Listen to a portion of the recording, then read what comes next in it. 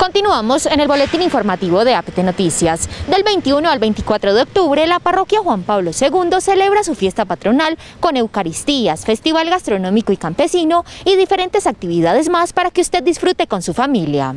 La comunidad de la parroquia Juan Pablo II invita a los tocancipeños a participar de la celebración de la fiesta patronal en honor a Juan Pablo II, uno de los líderes más influyentes del siglo XXI. Celebración que inicia este 21 de octubre. Conozca la programación y cómo participar. Del 21 al 24 de este mes de octubre estamos celebrando nuestra fiesta patronal una fiesta importante para nosotros como Iglesia Católica y para nuestra parroquia. Nuestro santo saldrá, sus reliquias eh, y estarán presentes en las comunidades. Esta fiesta iniciará el 21 con la Sagrada Eucaristía a las 6 de la tarde, aquí precisamente en este sector del templo de Canavita.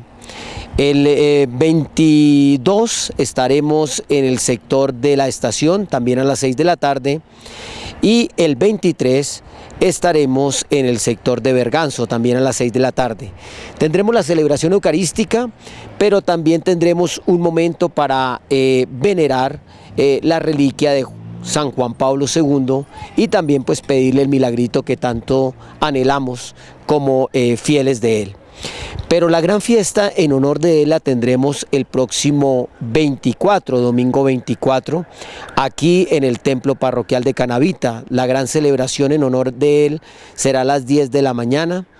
Y luego tendremos el gran festival campesino y gastronómico, el primer festival que vamos a hacer eh, lógicamente con todas las disposiciones y con todos los cuidados que eh, este tiempo lo, lo amerita.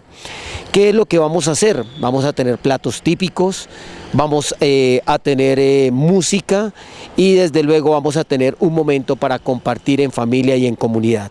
Recuerde que con su aporte en cada una de las actividades que realiza la parroquia Juan Pablo II, usted está contribuyendo con la construcción de los dos templos parroquiales de Canavita y Berganzo y al desarrollo de diferentes obras sociales. Yo quiero extender esta invitación a cada uno de ustedes a cada una de sus familias y decirles que acá esta comunidad es de puertas abiertas, porque seguiremos insistiendo en que nuestra parroquia sea la más bonita, la más moderna y la más espiritual.